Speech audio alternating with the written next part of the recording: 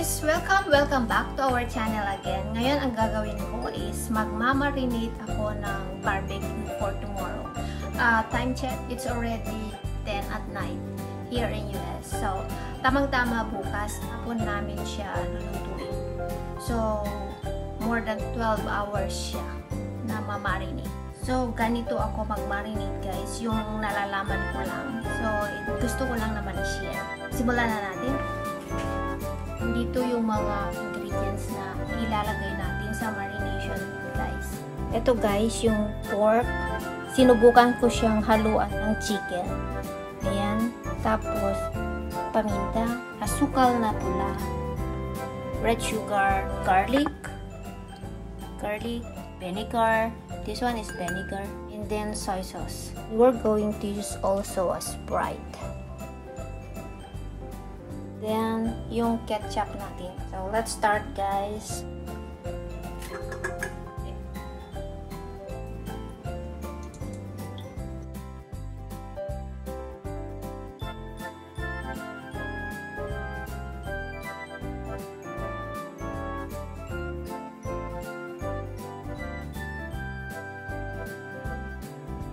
Yan, mix nyo lang siya. Itong marination na ginawa ko guys is DIY siya. Tapos ito ang gagamitin natin dito sa chicken.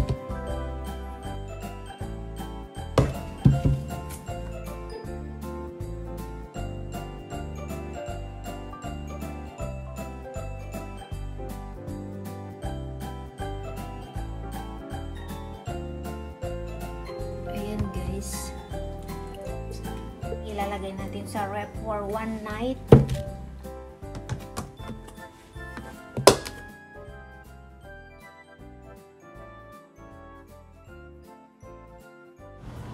Hey guys! Uh, dahil magsasalad ako, kukuha tayo ng aking cucumber dito. Meron ng cucumber dito, kaya pipitasin natin.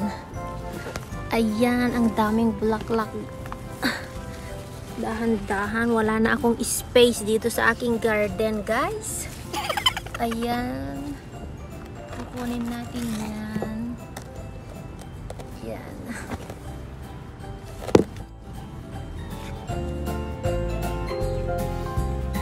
Yan kukunin natin to.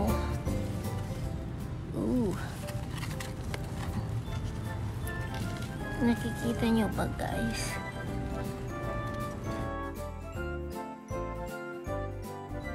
may isa pa guys. Ito siya.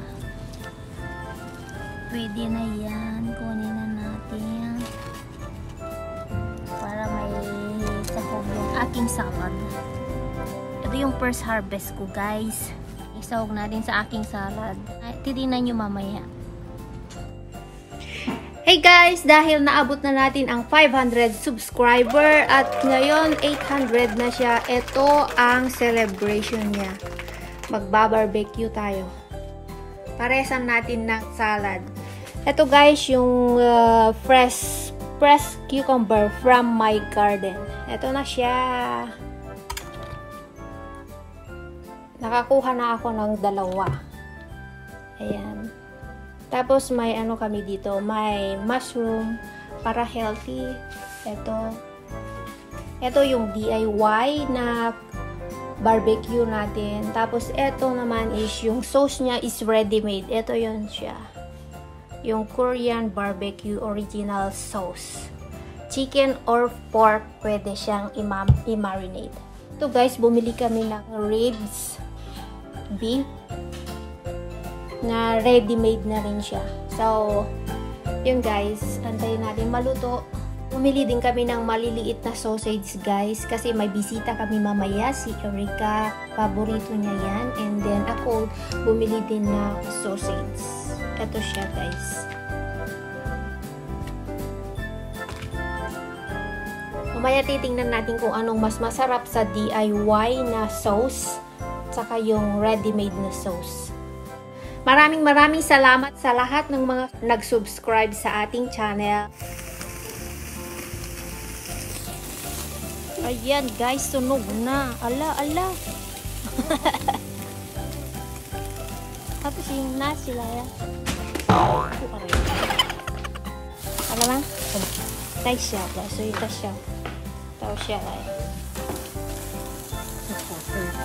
Ito na yung chicken, guys.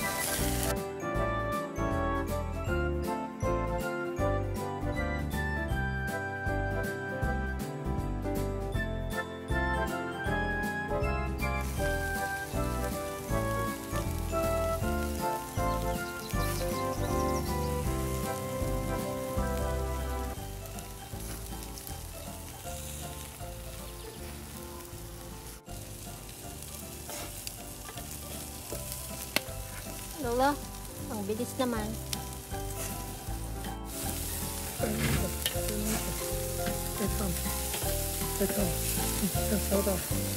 So yun guys, thank you so much. Maraming maraming salamat sa mga nag-subscribe sa ating channel. Sana subaybayan nyo pa rin. Ayan, pinaghirapan ko yung mag-barbecue. Para yan sa inyo guys. Ayan.